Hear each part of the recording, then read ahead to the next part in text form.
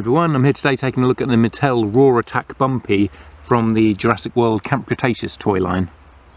Here's how Bumpy looks in the packaging, that open front packaging. And then there's that beautiful artwork of the jungle and the broken fencing and everything that all of this wave have had.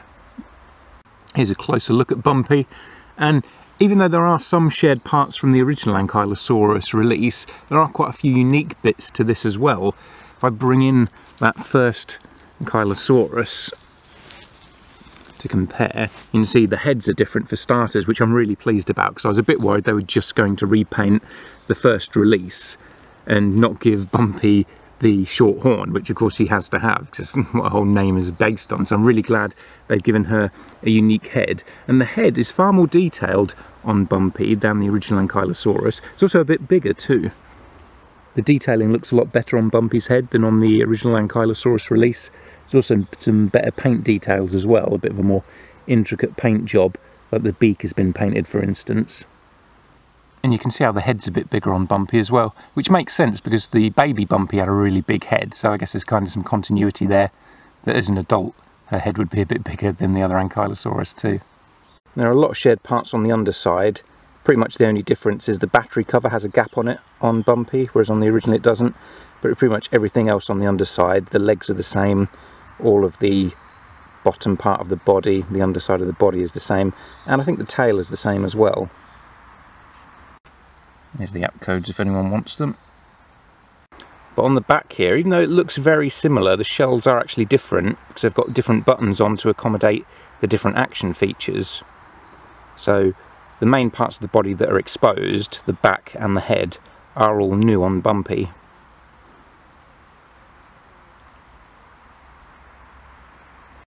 The horns coming out of the side of the tail on Bumpy are also painted on the new one, whereas on that original Ankylosaurus release they weren't. The tail wasn't really painted at all, it was just one solid colour. So they've put in a lot more detail and effort with the paint on Bumpy. And maybe it's because she's quite a popular dinosaur and you know quite well known now because of the cartoon. She's quite a significant dinosaur. They've put in that extra effort. As with all these roar attack figures, it has that sliding button on the back which you push forward once and as well as making a sound, instead of making the mouth open like on most of the others, it makes the tail sway. So you press it forward once and the tail moves a little bit to the side. Forward again, it moves a little bit more and then when you move it to the last space, it kind of swings across to the other side to give them kind of a whacking motion.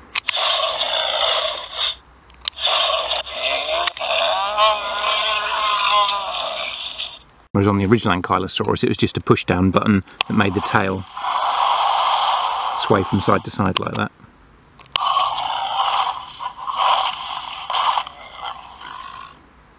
So to compare the sounds,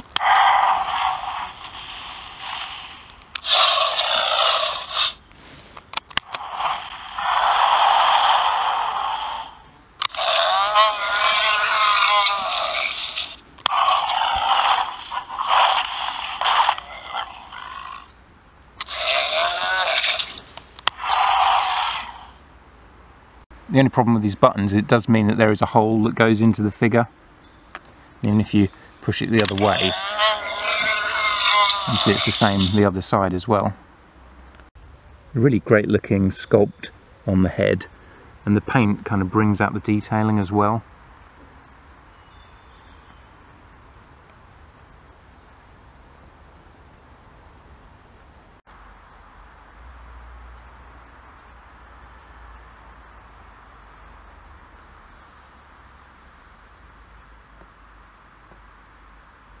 And here's the juvenile Bumpy for comparison. I do like how on the juvenile, the details on the legs are actually sculpted on, all those scales, whereas on the new one, because they're just reusing the legs from the original Ankylosaurus, they've just painted those on.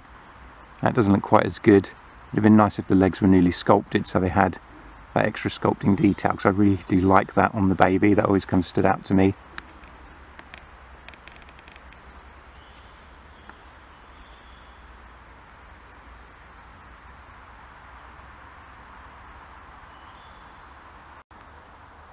That juvenile Bumpy has a really nice sculpt as well. For such a small figure that does look kind of cartoony, and doesn't necessarily fit in that well with the other dinosaurs because it's got a bit of a cartoony look to it.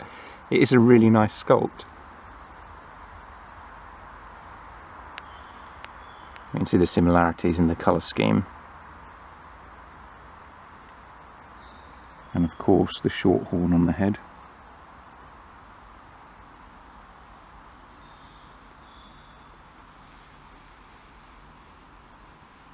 For articulation, the head's got a really nice range of motion, kind of swivels around, up, down, to the side, all the way around.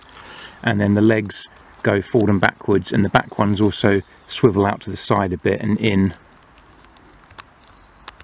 So, kind of what you'd expect. It's the same articulation as the first release of Ankylosaurus, but the legs are a lot tighter on this on that original I found them a little bit loose, not too bad, it's not like it collapses under its own weight or anything, but I did notice that on Bumpy the joints are tighter, which is nice, but they're not too tight, just kind of a, a useful tightness to them, so not quite as floppy.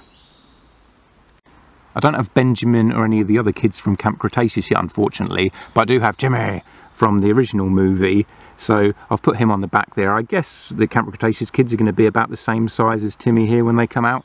So that gives some idea of what Benjamin will look like sat on the back there.